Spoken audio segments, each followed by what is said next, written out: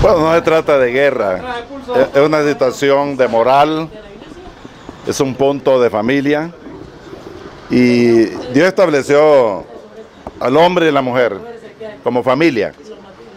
No dijo que el hombre podía tener otro hombre, ni la mujer otra mujer. Ese es eh, el plan de Dios para el ser humano.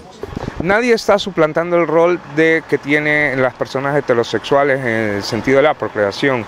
Esto volvemos a los parámetros o, a las dimensiones de la sexualidad y es que eh, existan las figuras de protección de derechos patrimoniales.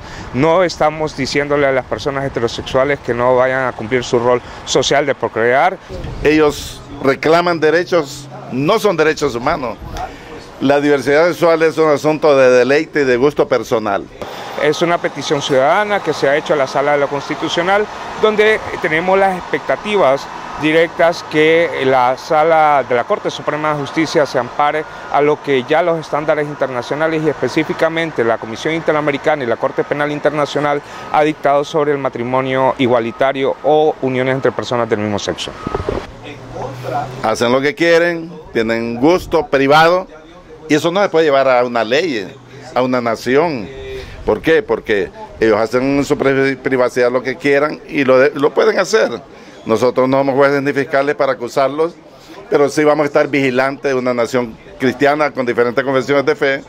No vamos a permitir que, que porque alguien tenga un deseo o un deleite, lo pueda llevar al plano de que se le establezca una ley. En un Estado de Derecho no debería de existir la injerencia de actores religiosos, por lo menos el gobierno, quienes gobiernan no deberían de permitir que la Iglesia eh, venga y sostenga este tipo de discursos, ya que en un Estado laico no eh, es producente para un país la injerencia. Ya hemos visto en otros temas de que la Iglesia incluso conforma comisiones en donde no debería de estarlas conformando y que esto está atentando justamente con el Estado de Derecho. Autoridades, el Congreso, la Corte Suprema, el, gobierno, por eso le estamos pidiendo que se haga una reforma constitucional para que el Estado deje de ser laico porque el laico es alejado de Dios. Y esto, eh, cuando hablamos del marco de derechos humanos, estamos hablando de derechos patrimoniales y estamos hablando de derechos sociales que deben de ser reconocidos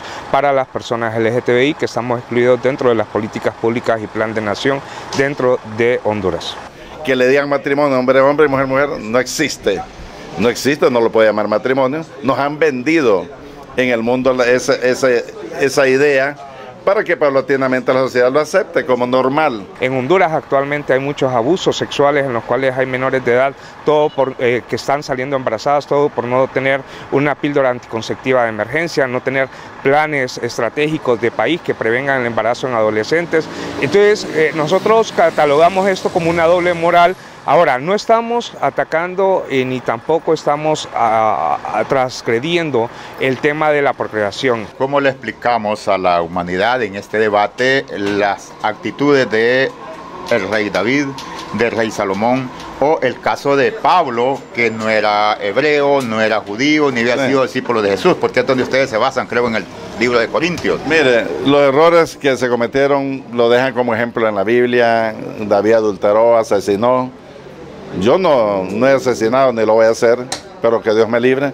Pero estamos contando con nuestra familia hoy, hoy hacia donde vamos Honduras, y no vamos a permitir que se trastoque la ley de Dios respaldada por la Constitución de la República. No es fundamentalismo. No es fundamentalismo, eso es moralidad.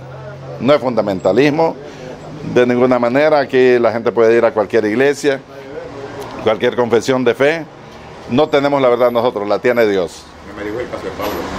Bueno, el caso de Pablo,